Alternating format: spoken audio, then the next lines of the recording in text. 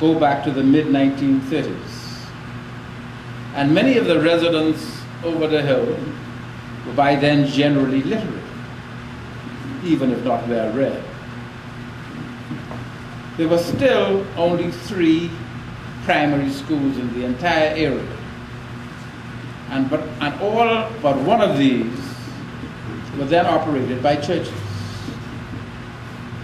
Woodcock School, later became Western Prep number two in Hospital Lane South, and St. Agnes Day School, known as Copperbread School, at Market and Lewis Streets, were both operated by the Anglicans.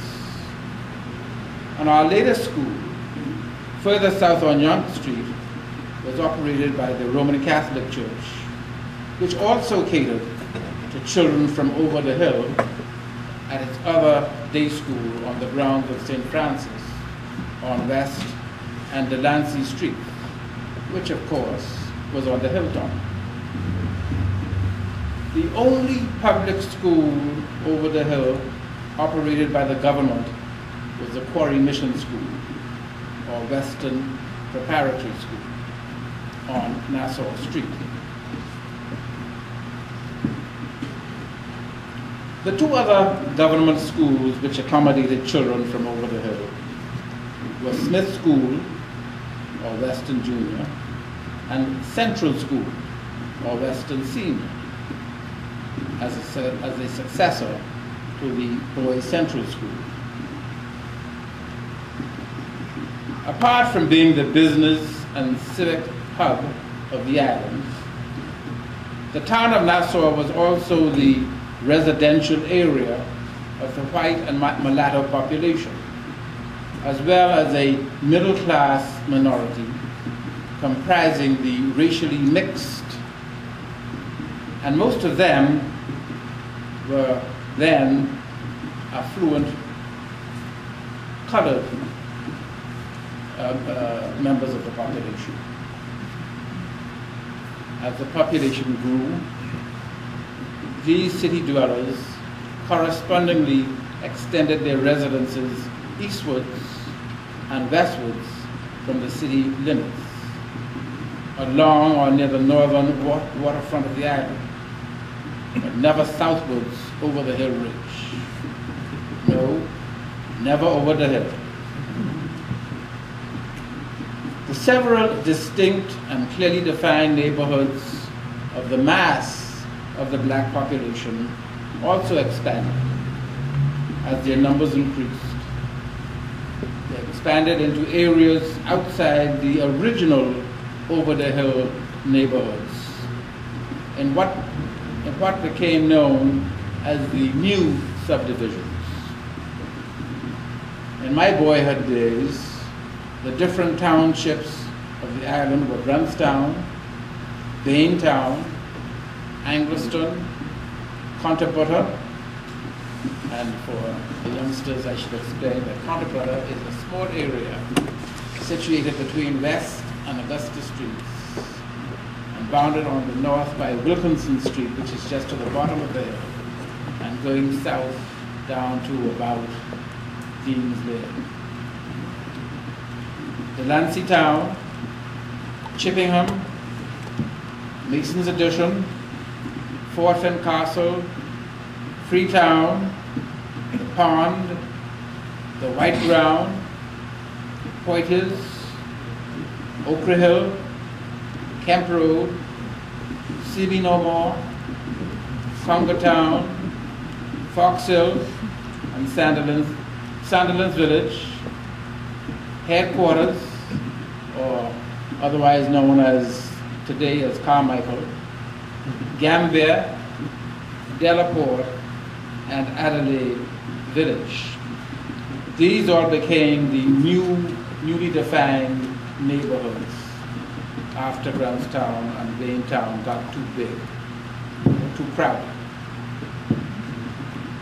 All the well-known newer subdivisions of today were later developments of the 1940s and 1950s such as Coconut Grove, Shirley Heights, Culmersville, Sears Addition, Centerville, Westwood Villas, Greater Chippingham, which is the area just south of Chippingham, Seabreeze Estates, Pinedale, Nassau Village, and Pinewood Gardens.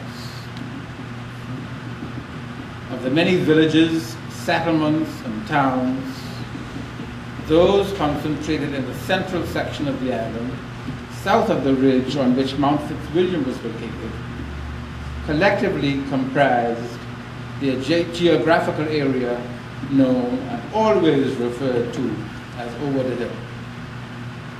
So that over the hill was a geographic description, but it was also a culture, a concept, an identity, a heritage, and a way of life.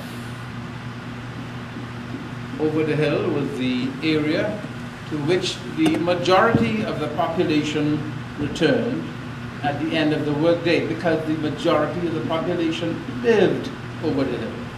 They returned to their homes and to their recreation and to their retirement for the rest of the day. So it was the location, it became the location of their churches, their bars and rum shops, or bar rooms as they were called, their petty shops, their lodge halls, and most significantly, their cotton trees. Huge silk cotton trees lined, lined the side of the main roads leading from the Northern Hill Range southwards to the Coconut Grove and to the Big Pond. So that in Grantstown, as one proceeded southwards from the southern recreation grounds at the foot of the hill, there were not less than seven or eight such giant landmarks, standing as silent settlements at regular intervals down the eastern side of the two main roads. Sadly, the only silk cotton tree remaining along Blue Hill Road today stands at the corner of Coburn Street, just outside St. Agnes Church.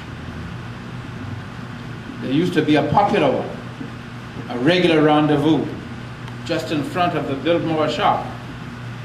Now, the Biltmore shop, it was a landmark on, a, on the corner of Blue Hill Road and Cameron Street, just south of Lewis Street, which is just south of St. Agnes Church. And the Biltmore shop was a general store owned by Mrs. Miller Frances Thompson also known as Tita, who was one of the most, one of the more affluent women of substance of Grantstown. Indeed, Mrs. Minna Thompson, Mrs. Letitia Curry of Hay Street, Letitia Curry would be the grandmother of the recent deceased organist of St. Francis. And Mrs. Lee Lang of Market Street were the only three ladies over the hill who owned motor cars in that area. And they were chauffeur driven. In a sense, it is a great pity that these majestic cotton trees towering over Blue Hill Road, Market Street, with one or two on Hospital Lane and West Street, had to be taken down for road widening in later years.